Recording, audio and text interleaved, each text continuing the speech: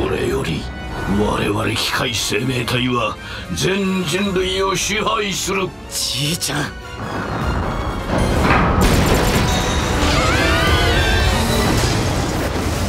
あれはかつてのジギーではない。シキお前にもその覚悟があるなら。来い。外宇宙へ。俺たちもじいちゃんを追う。じいちゃんに会ったらぶっ飛ばす。ジギーは青いコスモスを通ったはず。まさかとは思うがネロのもとに行ったのか。ポセイドン・ネロ葵コスモス最高権力者。いけない人がいるの。この近くに。魔王ジギーは蘇った暗黒のムクロとなり余を討つつもりか。父上シュラよそなたに全てを任せよう。ジギーをぶっ潰すんだよ。ぐちゃぐちゃになるまでな